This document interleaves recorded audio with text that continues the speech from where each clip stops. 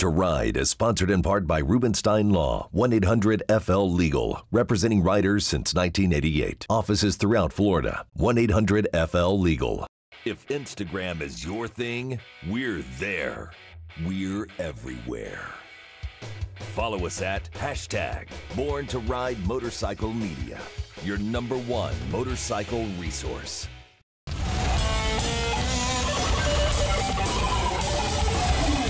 Thanks for tuning in to Born to Ride TV, the longest running biker TV show in the world. This week from Born to Ride Radio, it's Doggone Hot Dogs for Forgotten Angels. The amazing story of Jared Weems and his tribute to the iconic David Mann while helping children at the same time. Then we talk to Born to Ride's very own Eric Runyon as he tells us how this wonderful story all came together. All this and more here on Born to Ride.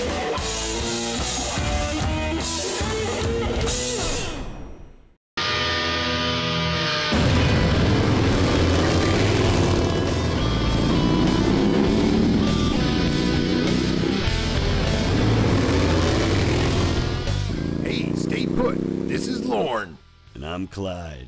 And you're watching Born, to, ride. And cut. That'll work. You know you're not the first, but do you really care? Crystal Harley Davidson's got the quality pre owned rides you want for a fraction of original MSRP. And if you have a trade, we'll pay more for it, even if you don't buy from us. Click crystalharley.com. Duke's Brewhouse Lakeland, the hottest, newest place everyone is talking about, invites you to Bike Night, first Wednesday of every month, 6 to 9 p.m. Ride your motorcycle and get 15% off your meal at Bike Night. That's 15% off your meal at Bike Night. Speaking of food, it's the best in town with the hottest servers anywhere. Wing Wars? Duke's wins every time. So don't miss Bike Night. Duke's Brewhouse, Lakeland. It's the first Wednesday of every month. Brought to you by Born to Ride TV and Magazine and Rubenstein Law. Hi, I'm attorney Robert Rubenstein, and this is Rubenstein's Rules for Personal Injury. Rule number one get an attorney. When you or a loved one have been injured by another's negligence, an experienced attorney can make a huge difference. At Rubenstein Law, we will find all of the insurance, make sure your injuries are documented, and work to get you the best result. While each case is different, a well known insurance company's own study showed people with a lawyer on average got more money. Call Rubenstein Law at 1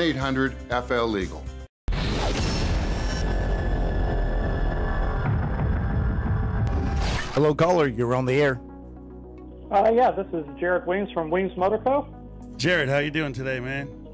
Wonderful. How are you guys doing? Well, uh, we're doing great here at Boss Hog Radio, Born to Ride, right here, man. Um, you know, we're talking to Eric Runyon, photographer extraordinaire, and uh, one of our marketing guys in the office, and he told us about your story. And um, uh, Eric Yeah, came man. out. uh, Eric came out and took pictures of, of your project. Now, your charity is uh, Forgotten Angels, right?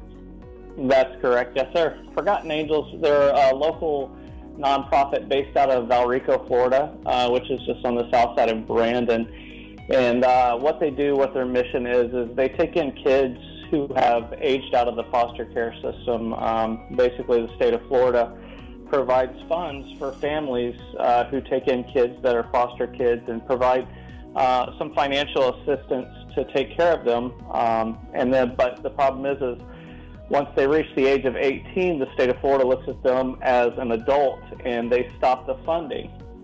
And unfortunately, a lot of um, a lot of these families are only fostering for the financial benefit, and that, that's a sad thing to really think about. So when these the funds stop, they basically kick these kids out on the streets. Um, you know, some of these kids haven't even graduated high school yet. They don't have jobs. They don't have you know, transportation of anything, and all of a sudden they're left out uh, essentially to fend for themselves with no no life skills. And so what Forgotten Angels does is they bring these kids in. I call them kids. They're you know 18 year old. You know they're considered an adult, but they bring them in. The first thing they do is they give them a place to sleep. Uh, um, they have a 12 acre property there in Valrico where they have little tiny homes built for these kids and uh, uh, they give them a place to, to lay their head. They get some food in their belly and, and they start walking this path with them to um, either graduate high school, get their GED, uh, to get a job, or just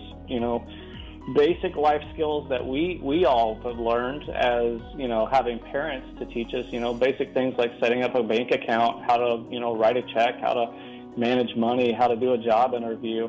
And so they, they bring these kids in and they, you know, really help them, give them a chance to, to get on their feet. That that is um, that's awesome, and we've heard about for uh, Forgotten Angels. I think we did an event with them years ago. Brandon Harley Davidson, and actually you're in, you're involved with the uh, a guy who they did a movie on, right? Quinton with the Blind Side. Yeah, yeah. So so uh, amazing story. Quinton Aaron from the Blind Side movie with uh, Sandra Bullock and uh, oh man, I always forget the the, the country singer's name.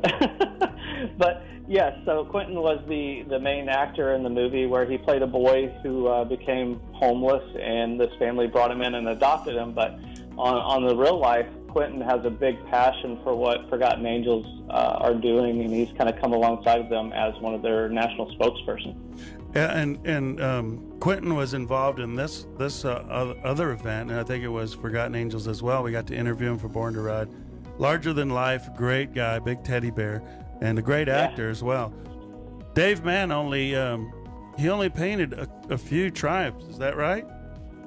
Yeah. So so kind of the process with the bike that came up was uh, I, I, I was active duty in the military for 16 years and uh, I, I, developed a brain tumor. And in this time of this brain tumor, um, I essentially sold everything that I had, like to do with motorcycles, because I didn't know if I was going to live a day or you know a year or what. And so I got rid of everything. And in that time, I had a, a good friend, a local, um, what I call a, a gray bearded biker guy, good friend of mine. His name is Mike. He came by and he gave me this old David Mann painting. Well, it was the centerfold out of a magazine. And I, I just kind of dropped my jaw because I'm, I'm really huge into Triumph motorcycles, especially the vintage ones is really where, you know, I find my passion. And in this, the centerfold was uh, a pre-unit Triumph motorcycle and it was painted by David Mann. And I was just floored. I was like, I never knew that David Mann had ever done any triumphs at all,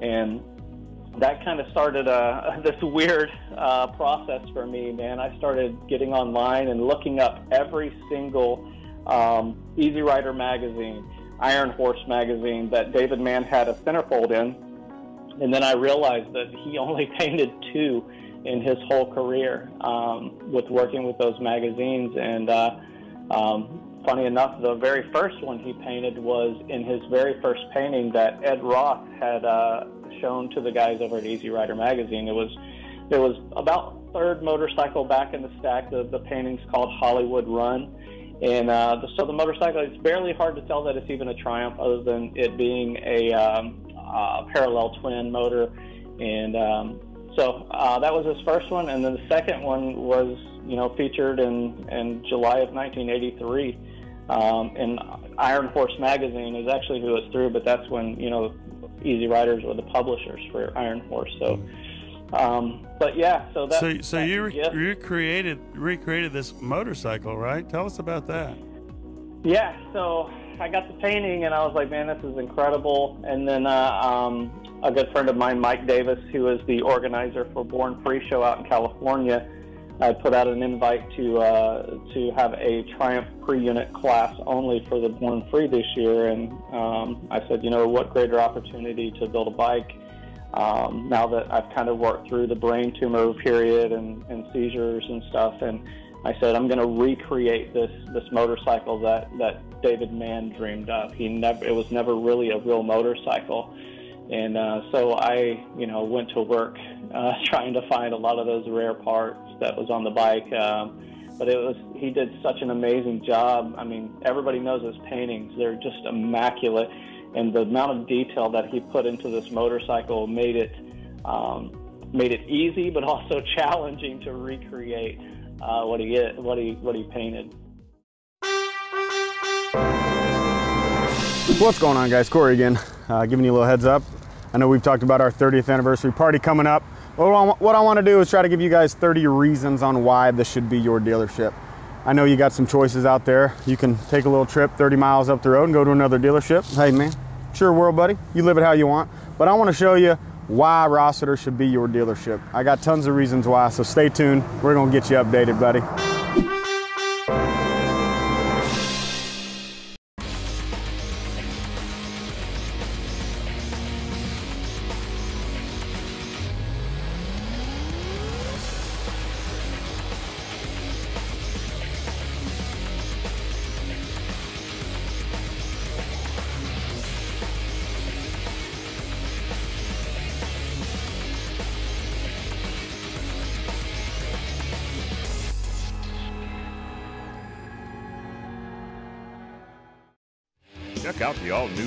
New with radio, TV, industry, adventure, events, magazine, social media, and much more.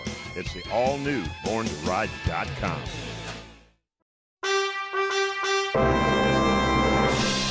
What's going on, all my dudes and dudettes, Corey Rossiters? Hey, uh, we're going to talk about being family owned and operated. Uh, being family owned, cool. Being family owned operated, very cool. We got four family members, I believe, actually inside the store working here every day, which is amazing. It really shows the morale, the family aspect of this dealership, and why we are who we are, and why we try to do for you what we do. Very family orientated. Come find out why. Rossiter's Harley, and don't forget September the 12th, big party. See ya.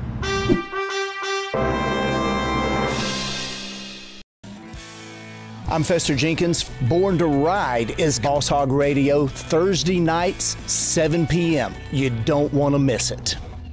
Hey, it's Debbie with Born to Ride.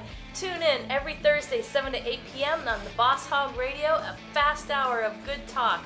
Good biker talk, what you really want to hear.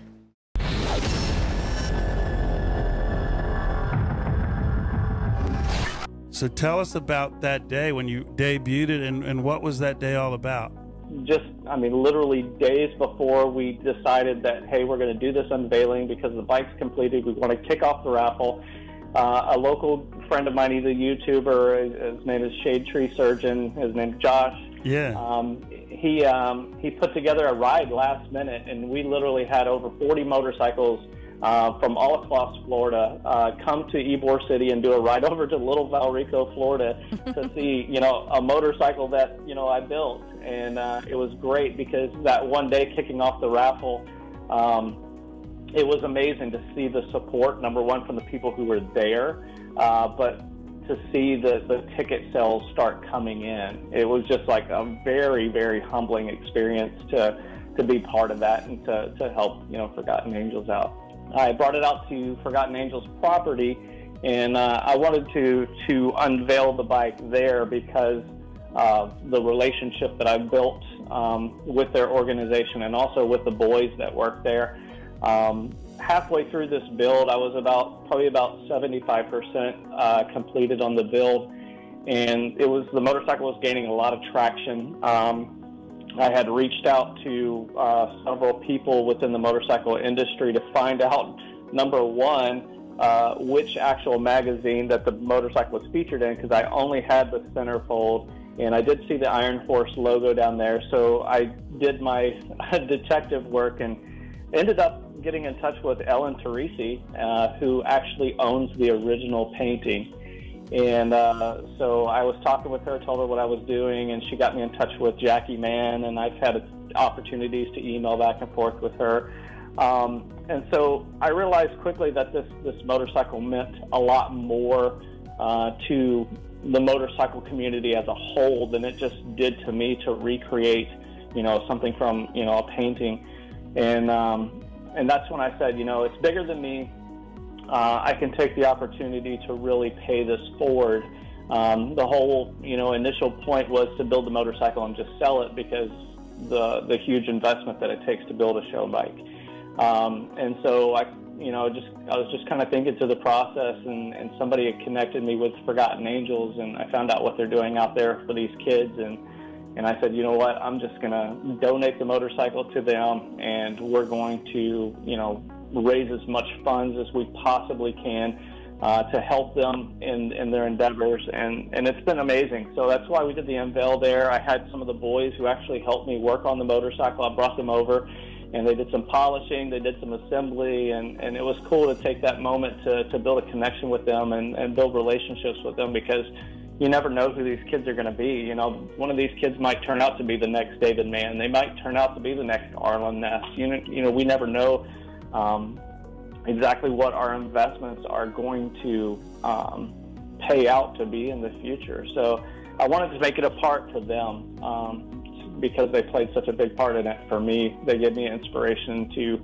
um, you know, just even the investment that I've made, just to donate it to them and say, hey, let's let's make this worthwhile. And I think, um, you know, this process is going to be amazing for them. I, I last week, uh, Tracy uh, Tracy Scott, which is David Mann's daughter, reached mm-hmm. out to me and said said, hey. Um, thank you for what you're doing. Um, you may not have known, um, but we lived in, in Clearwater, Florida for a while, and my dad actually adopted a son there. And I was like, man, I didn't know the connection, you know, be, with me working with a foster system and David Mann actually adopting. That just, you know, kind of goes together and says, "Wow, his heart, his heart is my heart." Yes, and you know, exactly. just to help, just to help kids, man. That's where I'm at. I could care less what accolades this gets for me. I, I don't care. I'm going to work on triumphs. I'm going to build triumphs on my own because that's what I love to do. But to push it forward for these kids, man, that's that's where it's at for me so if you're interested in the raffle, um, there's there's several uh, prizes that are part of this raffle. Obviously, the the grand prize winner is going to receive the the motorcycle, which is a 1952 Triumph Speed Twin. Uh, I've just nicknamed it the David Mann replica, um, and uh, they're going to receive print number one, the only one on canvas of the painting of David Mann. Easy Riders um, and Aaron Teresi and the, and the Mann family have decided to re-release the, the print. Uh, it was never available for purchase in print. This is the first time only, but they're releasing a limited edition uh, number of prints, and the winner will get print number one on canvas. Um, the second place winner is going to receive a Biltwell helmet uh, that's been painted to the same color scheme as the uh, uh, motorcycle that was generously donated by uh, Bill from Biltwell. Um, third place is a $500 Lowbrow Customs package. My buddy Tyler from Lowbrow Customs has donated that. And then the fourth place winner is going to receive a David Mann official store uh, package with some of his uh, memorabilia and then some of my T-shirts and hats and stuff. So those are the four uh, the uh, four prizes. The tickets are only a twenty-five dollars a piece. Um, if they want to make a generous donation of hundred dollars, they're going to receive a bonus ticket, so they'll receive five tickets at hundred dollars. Awesome. Um, and then uh, the tickets can be purchased right through my website. That's www.weemsmotorco.com. Weems is W E E M as in Mike S and then the word motor, M O T O R, and then C O dot com. Say once you get on the website, you'll see right at the very top there's a, a, tab that says raffle. You click on that, it'll give you all of the details, all of the uh, prize packages and everything, and there's a button that says buy tickets. And you just click on that, it'll take you right into the raffle site. Jared, you before doing. you go, is there um, a Yeah. website where we can get information for the Forgotten Angels? Yes, that's what I was going to say. If they're wanting to make just a direct donation, I know certain corporations are not able to purchase raffle tickets. Uh, you can go to www.forgottenangelsflorida.org, and they have a donation tab there. And just one other note, uh, just a cool factor is um, we're going to be going to the David Mann Show, which is Chopper Fest out in California in December. And while we're there, we're actually going to be recreating the painting into real life. Uh, we're going to the hot dog stand that's in the painting. Uh, it's going to be an amazing opportunity to just kind of bring the painting into life. Wow, that's W- cool. We want to be there, you know, and document anything we can do to help magnify your greatness and everything you're doing for the kids and our future of America. We, and, and thank you for your service too, man. Thank you. Absolutely. I thank you guys for having me out tonight. All right, you, Jared. Good job. All right, we'll follow up. Thank you. Yep. Thank you guys. Bye.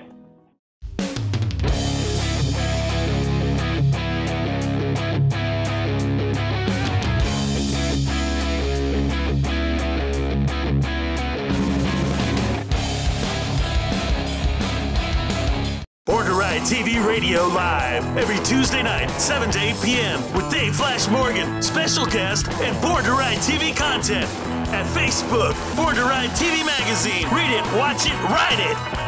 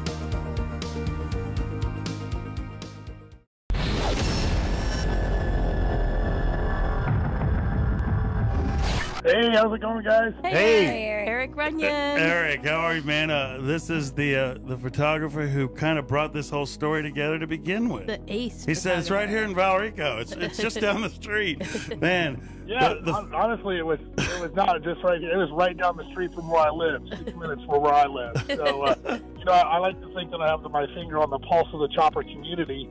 But uh, you know, I kind of found out through the grapevine about this build, and then when I found out that the guy lived six minutes down the road from me, I about had a heart attack.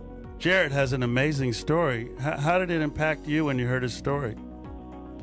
Well, you know, it kind of it kind of slowly unfolded because, like I said, I, I uh, I've- I'd heard about the bike and I started seeing pictures and here and there on Instagram that Jared was taking himself with his cell phone. And then when I found out he was in Tampa, I thought, well, you know, this is an opportunity for me to find out more about this guy and more about this bike and and uh, see what's really going on here. So I reached out to him, and like I said, unbeknownst to me, he's six minutes down the road.